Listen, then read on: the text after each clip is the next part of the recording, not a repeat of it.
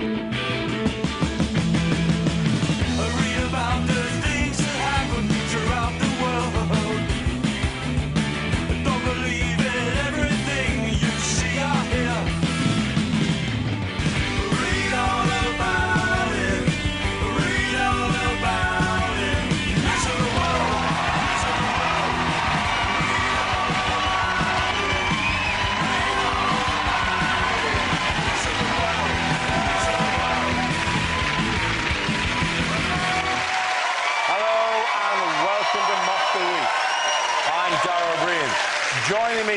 week are Andy Parsons, Ed Byrne and Russell Howard, Chris Addison, Hugh Dennis and Micky Flanagan.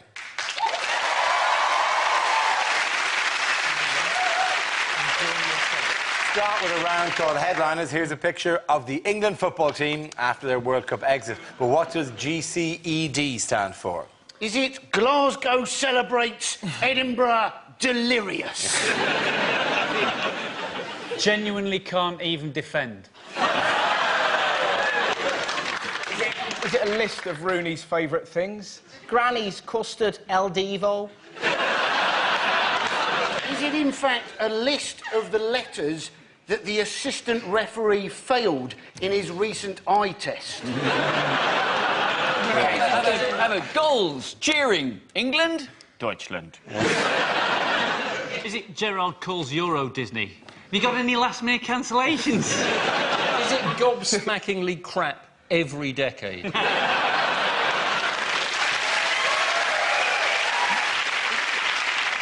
Maybe it's to do with Rooney. That's actually GCED's how he spells Gerrard. or how he spells GCSE? Is it just gigantically crap, expensive donkeys?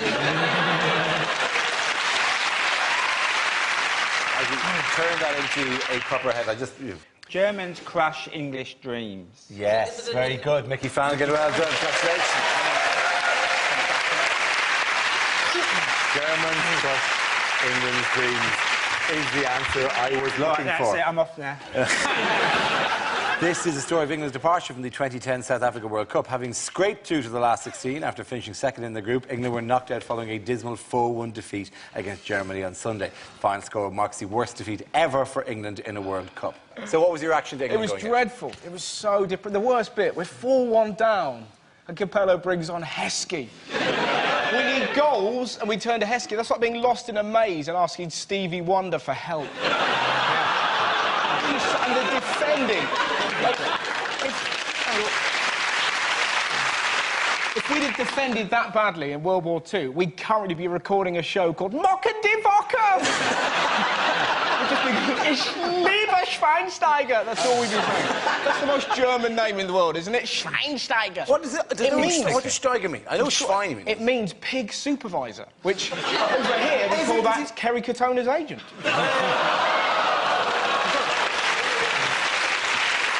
I thought the worst bit, I'm not going to troll to your agony and this or whatever, was when the fourth goal went in and you brought on Hesse and they just brought on anyone. They took on everyone important to already. There's 25 minutes to go and they were already resting people. They brought on two little known subs and a guy who won a phone in competition. uh, in Germany.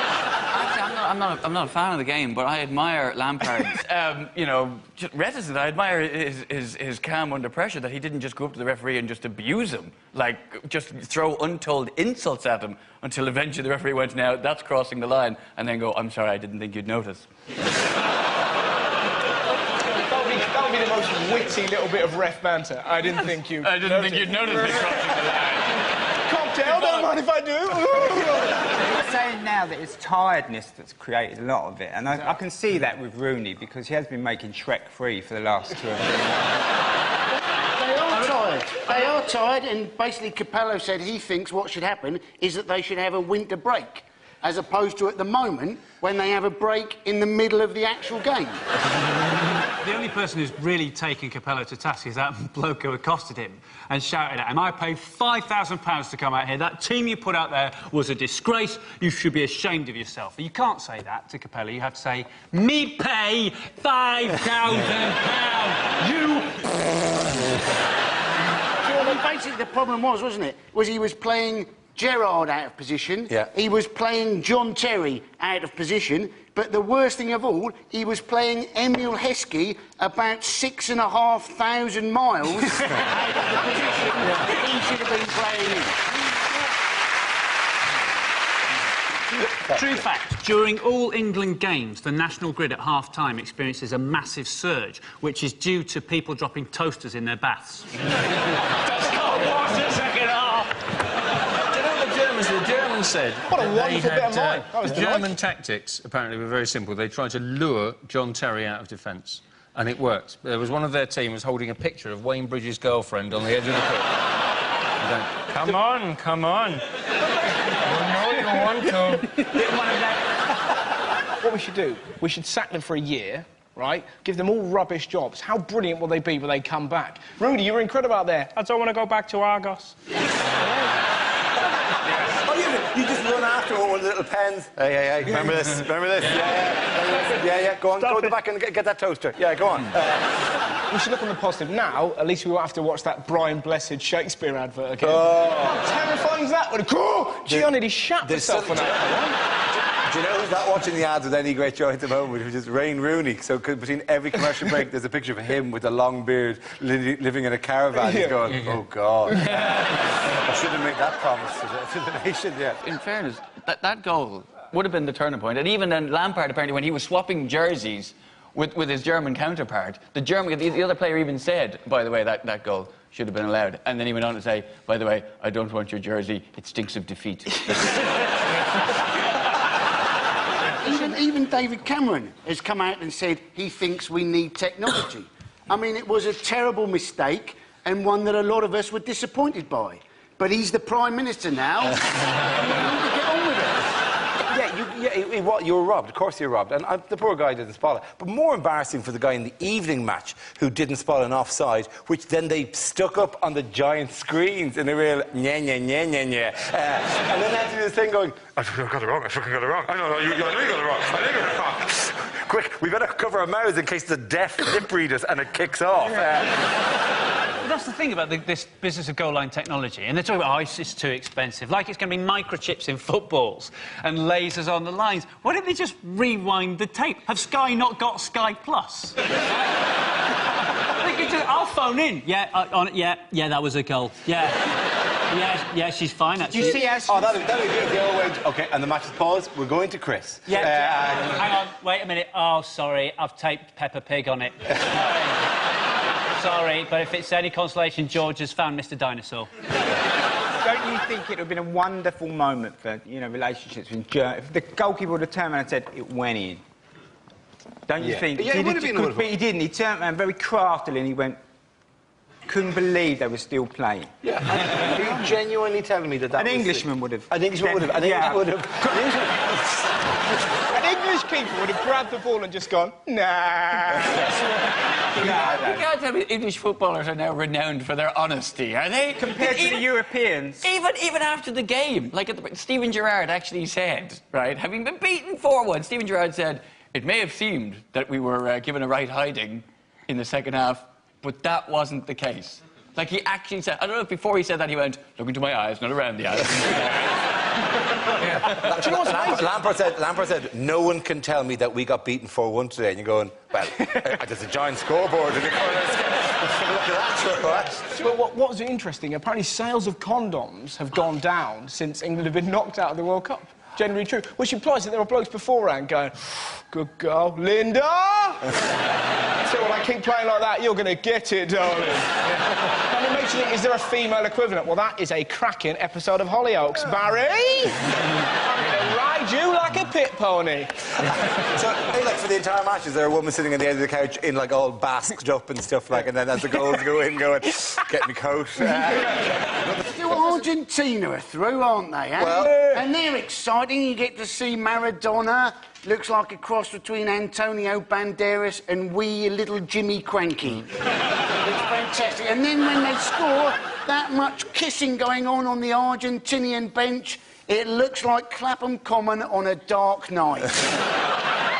Maradona, Maradona in that suit. He's a man who should not be wearing a suit, isn't he? He looks, he looks like he's either on his way to court or, or he's about to do an advert going, "Hey, you want carpets? Crazy Diego, you carpets?"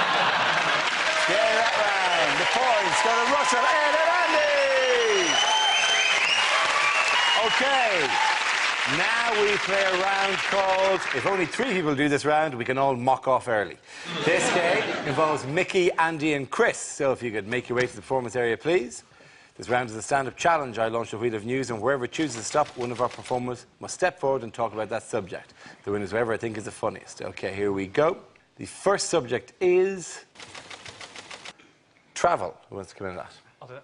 Chris has.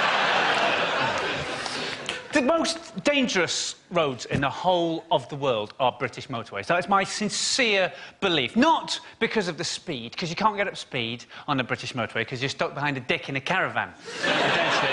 Do you know, I found this out. One in five families in this country goes caravanning. Why? What makes a family who don't get on in a normal-sized house believe that squeezing themselves into a tin for a fortnight is going to improve matters? It's just, it's such a self-deluding activity, which for me is symbolised by that. You know that five-foot-long wing mirror, the attachable wing mirror the dad puts on the car? Well, I have to see what's behind me. It's, a, it's of paramount importance that at all moments I can see what is behind me. Oh, for goodness sake, just paste a picture of a traffic jam on there, because that's what's behind you. You don't need to look to see what's behind you. It's there because you are. So the government, they're boring, right? The motorways are boring, and the government puts up those signs to stop us falling asleep, saying, tiredness can kill, take a break. but the thing is, we're not surprised by those signs anymore, so they don't really work. I think they have to keep changing them. I think they should change those signs to keep us on our toes. Change them to ones that say, deja vu can kill, take a break. And then one exactly the same, half a mile. Yeah, Chris. Okay, let's spin the wheel again. Next topic is politics. Who wants to come in on that? Andy Parsons? So, we have a Liberal Conservative coalition. It makes no sense, does it? Two words that mean completely opposite things. it would be like having the wig Baldy coalition or having voted for the no swearing arse party.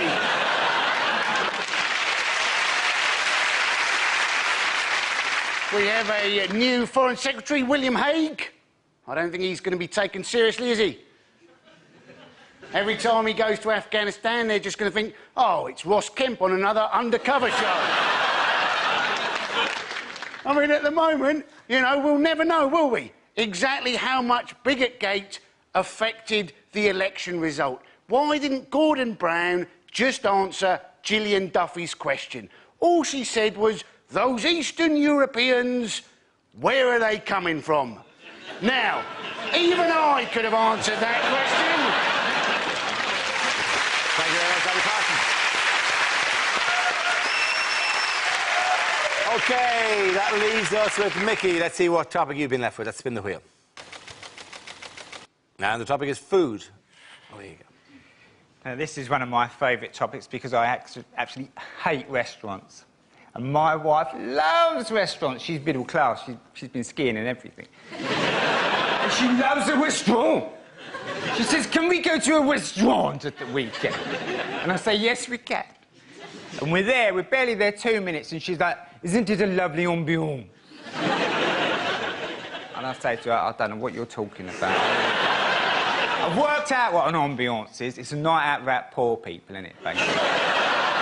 it's people with a few quid to say, can we just have one night out about the poor people turning up? We know what they're like. They'll be banging spoons together, singing My Old Man's a Dustman, creating an atmosphere. We want an ambiance. so we try and enjoy the ambiance. But something's happened spoiling it for me. There's no tomato sauce on the table creating the situation when my wife looked at me. She said, You're going to ask for tomato sauce, aren't you? I said, Yes, I am. Because I'm going to have the risotto. you can't eat risotto without red sauce, it's too dry. It's a health and safety issue. You've got to zhuzh it up with a bit of red sauce. Right? So I thought, I'm not having it. I said to the waitress, Excuse me, do you have any ketchup in the building? She's looked at me like I'm the worst pleb God has ever put breath in. She went off to the kitchen and I saw her making her way back with a pot about that big, about two chipfuls of tomato sauce. I thought, oh, here we go. She's tried to put it down and walk away like she's doing a drug deal or something. and I stopped. I said, hold on, love, love, don't, don't, don't, rush off. And I took a sip of it. and I looked at her. I said, yes, I'll have a bottle, please. Thank you very much, done. And that to. Well done.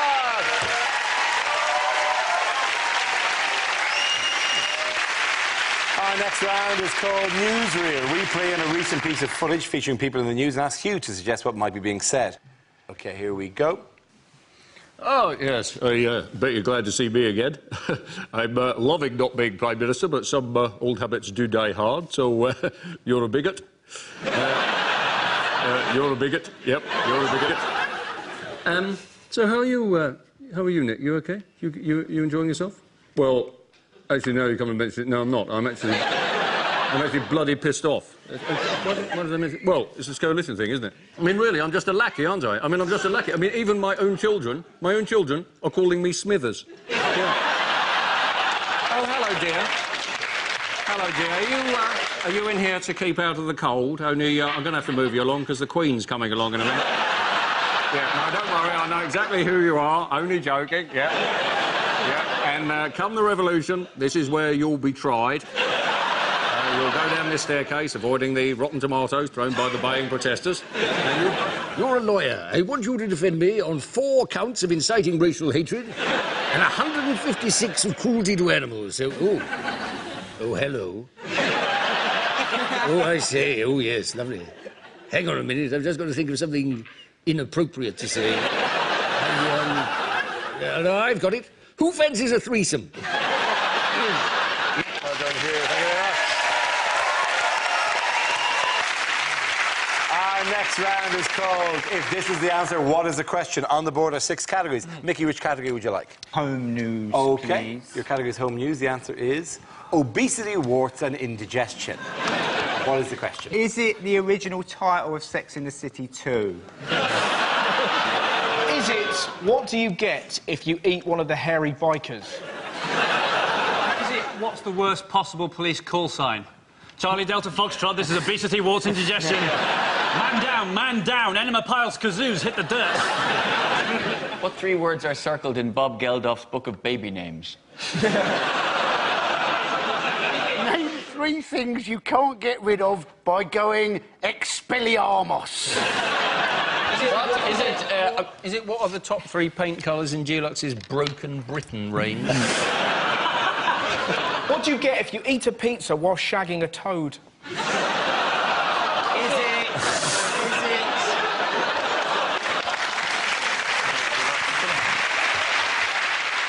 What did you not put before GSOH in a Lonely Hearts ad? What have I, at one time in my life, claimed my semen can cure?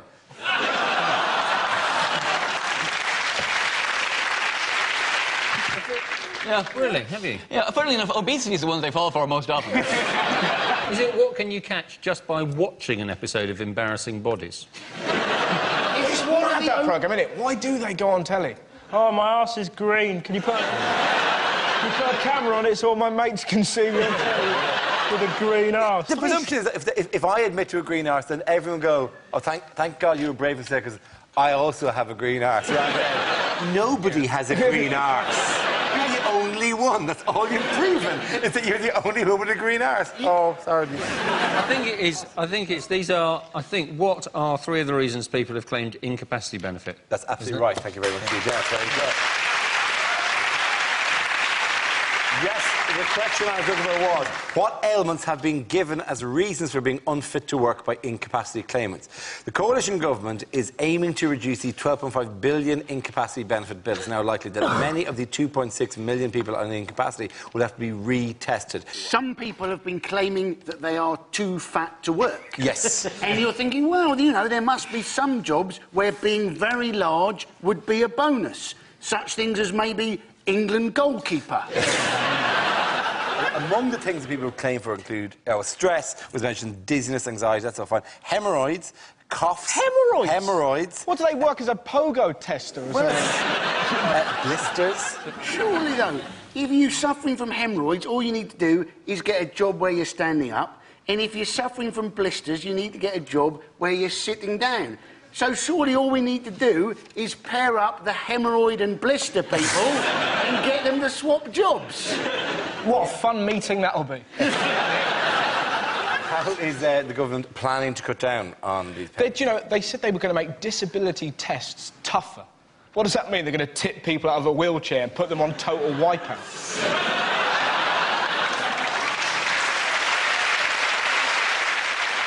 In other news, why were these two men in the headlines this week? This star is the longest tennis game ever, I believe. No wonder it was so long. Look, neither of them even has a racket. So 76 What, what are the names? Uh, Isner and Mahut. Isner and Mahut. Sounds like, a, sounds like something Scottish people say. Isn't it a mahout? I've no idea. I'm a stranger here myself. The press called it the longest game, but presumably it was also the dullest game. if they played any longer, then they would have synchronised their menstrual cycles. Did you watch any of it though? Just kept Yeah. going. Oh, you're watching it, just go, oh, finish, just end, just stop. I felt like Sting's wife. Make it stop. No, and actually, the, and the best thing about it, because two of them are completely unknown. So the commentator, God love the commentator, who had no little nuggets about the two of them because they hadn't done anything. And they're going, oh, tall guy again. And, uh, oh, the little French guys won that one. I got nothing. I got nothing. Get me out of here. So boring. What they need, every time there's an ace, there should be a monkey in roller skates just wander on and go, ta-da! You know? just to make it... I've got another idea. Whenever they go, new balls, please, the crowds of won has to go, oh, mate. It went on so long, even the scoreboard broke down. When it's got to the stage where the scoreboard can't cope, surely that's a sign that they should settle it with paper, scissors, stuff. Apparently, apparently, the bloke who lost when he met the guy at the net, he said, best of three. What has happened to Russian lady tennis players? When I was a kid, right, if there was a Russian lady tennis player on and she got interviewed after the match and they go, that was great, you played really well, the Russian lady tennis player would go, Thank you very much. The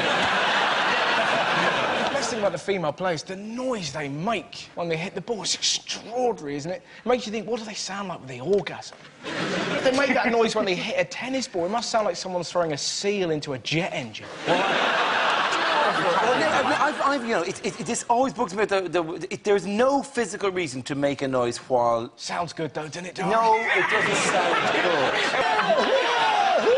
Thing, It doesn't sound erotic, but there's no reason to do it. Like if you move a piano or something, or you're lifting suitcase in that bit. It, it, Last move a piano. I, okay, that's not a good example. I've moved a piano in a long time. No, do you know what it would be? It would be if uh, on, a, on an airline check-in desk, right? You know that bit where you have to go, uh, boom, and do that, like whatever. That, people don't go, "Hee!" Boom, like uh, that. That's the same. It's an impulse motion, like whatever. But wouldn't But it be great if they did? Imagine snooker. Darts. That's what we like, a bit of grunting. Oh, It's you're fantastic. being draft with a child. King me! It the Queen, be- ought to make, the Queen ought to make a noise every time she shakes someone's hand. Hmm. There's also, you've got to feel a bit sorry for the Queen, because she went to Wimbledon for the first time in 33 years on Yeah. that day, and she found that exactly the same match was still happening. I just like the idea of the Queen sitting at the tennis going, I'm a stamp, I'm a coin, I'm a stamp, I'm a coin. at the end of that round, points go to Chris here, Micky. Now we come to Scenes we'd like to see. So if everyone can make their way over to the performance area, please. I'll read out this week's topics and then we'll see what our panelists can come up with. Okay, here we go. The first subject is unlikely things to hear at the World Cup. I'll tell you what, that Nelson Mandela's a bit of a dick. And on comes the sub for North Korea, and it's torpedoed the opposition. Heskey scores!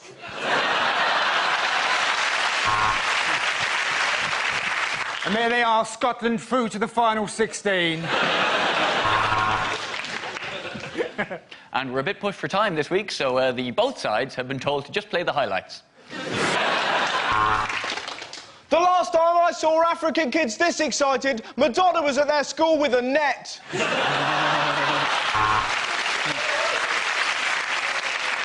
Well, it's very hard to tell with his legs at that angle, but no, that is definitely a Brazilian.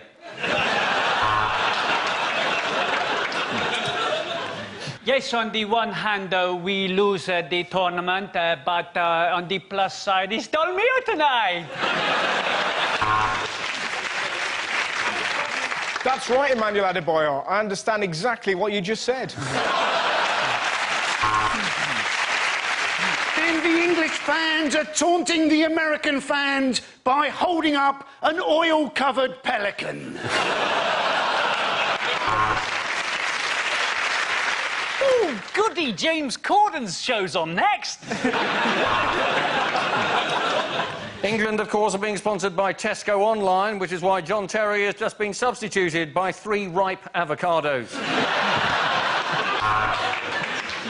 And here we are on safari. There is a giraffe and an ostrich. I'm terribly sorry, it's Peter Crouch's parents.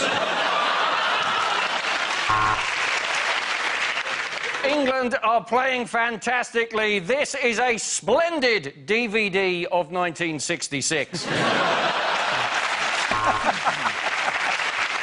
what a shame Ireland couldn't be here. But then Thierry Henry is a filthy, cheating, lying bitch.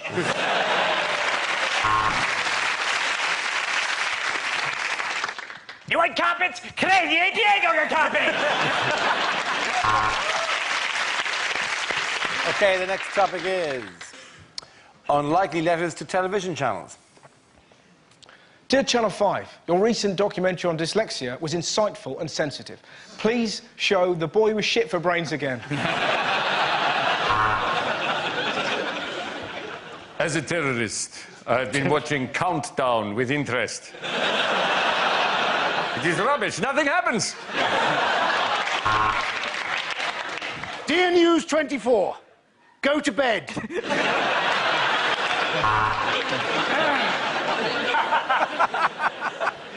Dear Babe Station, have you actually read the trade's description? That Dear Bravo, I don't quite know how to put this, but uh, well done. Dear Channel 5, isn't it time you just called it a day? no one will mourn.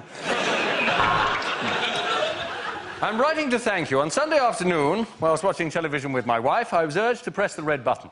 I did, and my wife had her first orgasm in 40 years.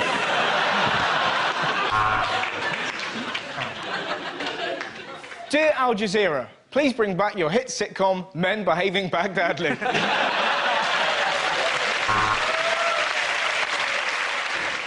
History Channel, the Nazis were bad. We get it. Dear Hallmark, roses are red, violets are blue, your cards are shit, and your channel is too. Dear Channel 4, why don't you pricks book me for any of your shows?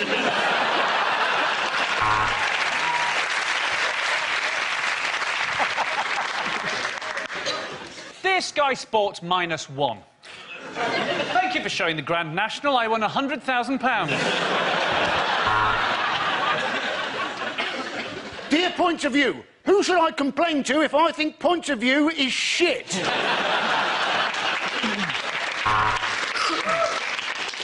Dear Fiver, if I give you a tenner, will you please stop broadcasting? Dear Channel 4, why not liven up Deal or No Deal by putting a nail bomb in one of the boxes? Okay, at the end of that round, the points go to Russell, Ed, and Andy.